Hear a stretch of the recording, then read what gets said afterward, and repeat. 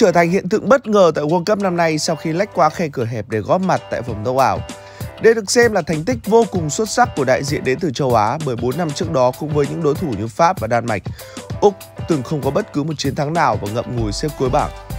Ngoài ra Messi cùng các đồng đội của mình cũng có một ngày thi đấu rất tuyệt vời khi vượt qua Ba Lan để có cho mình vị trí nhất bảng, qua đó giúp họ tránh được Pháp tại vòng knockout đầy căng thẳng. Bản tin World Cup đã trở lại trên kênh bình luận viên Anh Quân News.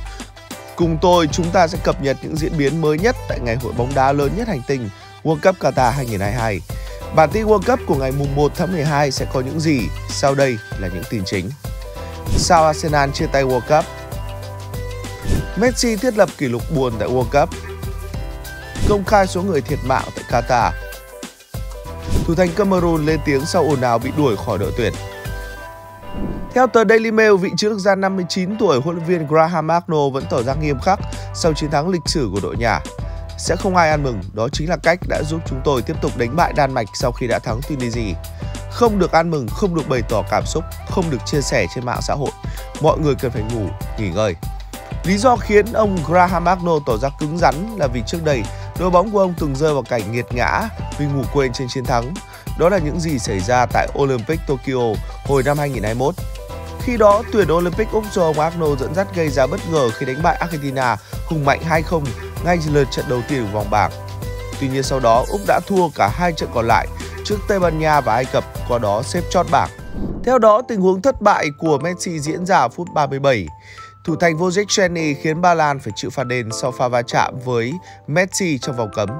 Tuy nhiên, cựu thủ thành Arsenal đã kịp chuộc lỗi khi cản phá thành công cú đá phạt đền của El Pulga. Cụ thể, đây đã là pha hỏng ăn thứ hai trên tổng số 3 quả phạt đền mà Messi thực hiện tại các kỳ World Cup. Trước đó, cựu sao Barca cũng đã hỏng phạt đền trong trận Argentina hòa một đều Iceland tại World Cup 2018. Lần gần nhất siêu sao 35 tuổi ghi bàn từ chấm 11m là trận thua 1-2 của Argentina trước Ả Rập Xê Út hôm 22 tháng 11. Lần cuối cùng Messi đã học phạt đền trong màu áo tuyển quốc gia là trận giao hữu năm 2019 khi Argentina giành chiến thắng 1-0 trước Brazil. Còn lần cuối anh lỡ cơ hội chơi chấm phạt đền ở cấp câu lạc bộ là trận thắng 1-0 của Paris Saint-Germain trước Real Madrid tại Champions League mùa trước. Pha đá phạt đền trước Ba Lan đã là lần thứ năm Messi đá hỏng trong màu áo Albi Celeste. Người cản phá là thủ thành Szczesny cũng trở thành thủ môn thứ hai trong lịch sử World Cup sau Brad Fiedel, cản hai quả phạt đền trong một kỳ World Cup. Theo tờ Reuters phát biểu sau thất bại đầu tiên của đội tuyển, huấn luyện viên trưởng Didier Deschamps của Le Bleu đã thừa nhận rằng trận đấu với Tunisia là không quá quan trọng. Chúng tôi có thể có một kết quả tốt hơn, nhưng các cầu thủ sẽ có trận đấu chỉ sau 4 ngày nữa. Có chút mệt mỏi bởi chúng tôi chỉ dồn sức vào hai trận đấu đầu tiên. Ở vòng tiếp theo có thể chúng tôi sẽ phải trải qua trận đấu kéo dài 120 phút. Chúng tôi không bỏ qua, nhưng trọng tâm phải là ở trận đấu tới. Công bằng mà nói, việc Tunisia có được chiến thắng bất ngờ này một phần là do Pháp đã có tới 9 sự thay đổi trong đội hình. Tất nhiên là những nỗ lực của đại diện châu Phi cũng rất đáng ghi nhận. Đặc biệt là trong khoảng 20 phút cuối trận khi mà Pháp tung ra sân những nhân tố gần như là mạnh nhất. Mới đây, Liên đoàn bóng đá Anh vừa bất ngờ đưa ra thông báo Ben White đã chính thức rời khỏi đội tuyển quốc gia vì những lý do cá nhân. Trong cả ba lượt trận vòng bảng, trung vệ thủ biên chế Arsenal đã liên tục ngồi trên băng ghế dự bị và không được huấn luyện viên Gareth Southgate trao cơ hội ra sân một chút nào. Theo thông tin từ Marca, huấn luyện viên Gareth Southgate sẽ không gọi thêm phương án thay thế Ben White khi mà trong tay ông đang có hàng loạt trung vệ chất lượng khác bao gồm Harry Maguire, John Stone, Conor Quaddy và Eric Dyer. Theo tờ Daily Mail, cầu thủ chạy cánh của Brazil Anthony đổ lỗi cho hệ thống điều hòa tại các sân ở Qatar, khiến anh và nhiều đồng đội bị ốm khi tham dự World Cup 2022. Tôi nghĩ là do điều hòa không khí ở các sân. Không riêng tôi, các cầu thủ khác cũng có triệu chứng tương tự.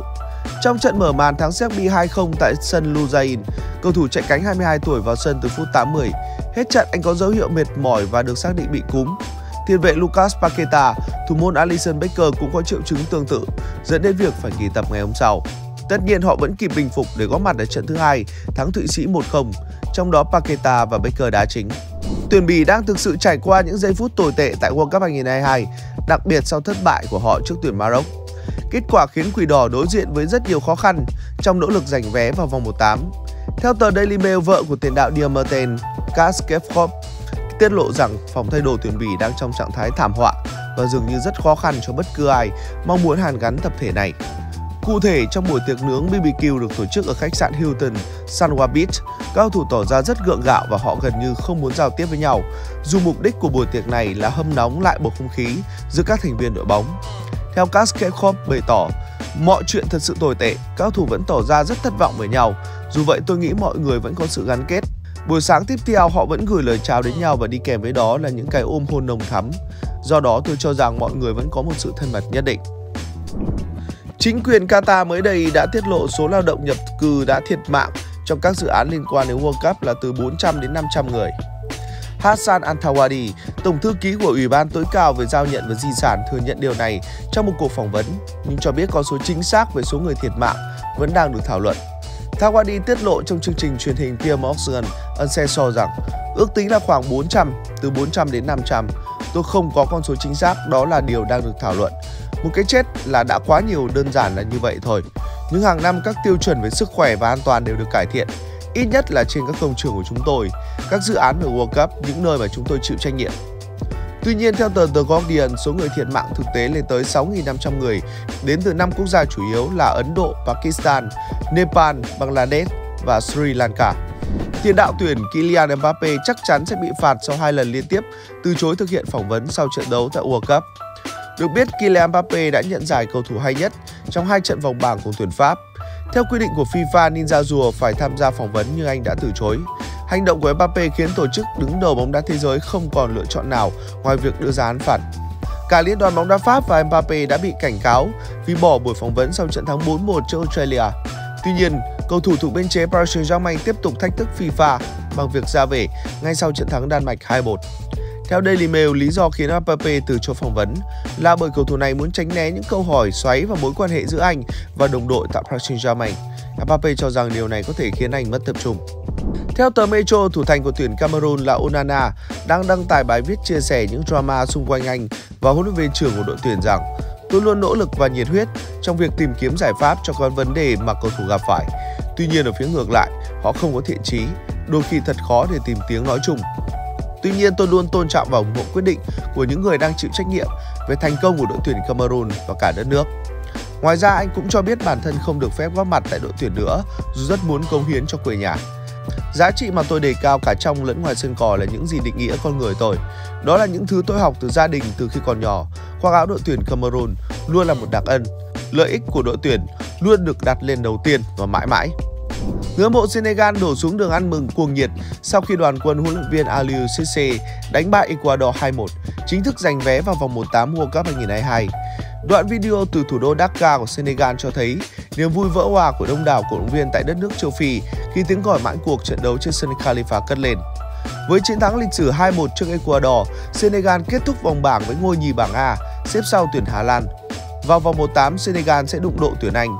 Tấm vé mà nhà vô địch CAN 2022 có được càng trở nên giá trị trong bối cảnh họ mất tiền đạo chủ lực Sadio Mane và để thua ngay trận ra quân. Từ Khalifa đến Dakar, người hâm mộ xuống đường ca hát nhảy múa rộn ràng mừng chiến công của thầy trò Aliou Cisse.